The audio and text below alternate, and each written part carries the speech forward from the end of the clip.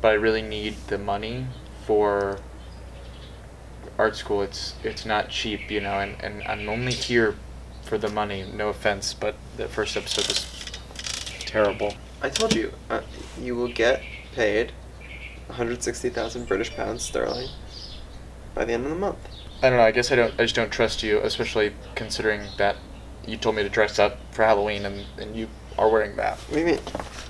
I'm art. Do you not get it? I'm art. My hair is the paintbrush, and the world is my canvas. See?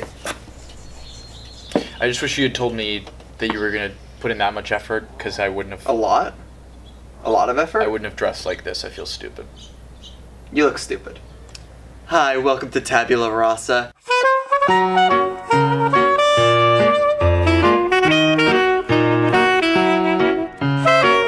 Tonight's topic is abstract expressionism. Is what? A- abstract expressionism.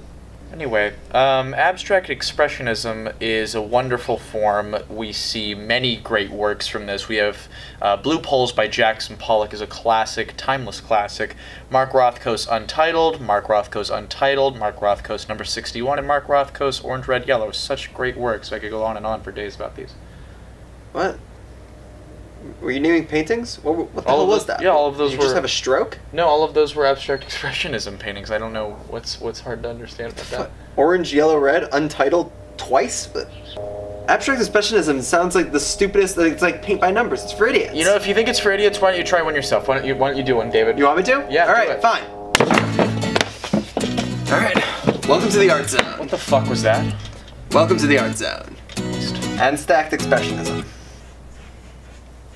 What are you painting?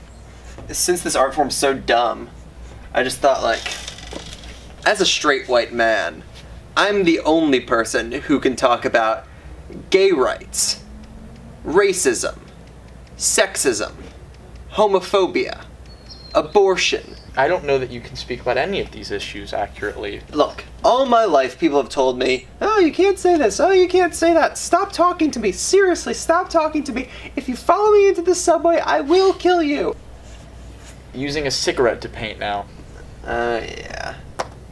Oh, A little bit of the uh, tobacco's wearing off. Yeah, well, yeah. C'est la vie. French. That's for art. France. China. Robespierre. New topics being covered in this painting are France and Robespierre. Oh my god. Painting haphazardly like a three year old child. This is truly awful. All right. you.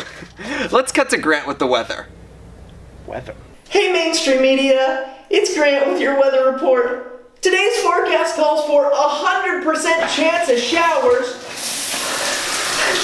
As you can see, and a little bit of purple rain, baby. You like Prince? Purple rain? Anyone? And welcome back to the art zone. Will, what do we think? Yeah, this is abysmal. Horrible in nearly every way. It's almost as if you've never heard of abstract expressionism before in your entire life. I sent you an email. You clearly didn't look at it.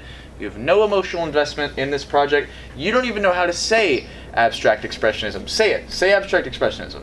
Say it. Say the words. Uh huh. You want me to say it? Yeah, I do. Yeah, you do? Yeah, I really do. Okay, Yeah. okay, yeah, Say go abstract ahead. expressionism. Okay. Fucking idiot.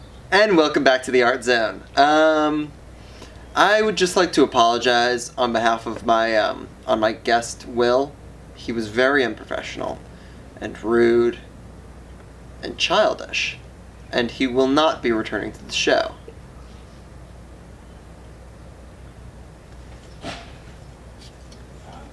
Hmm.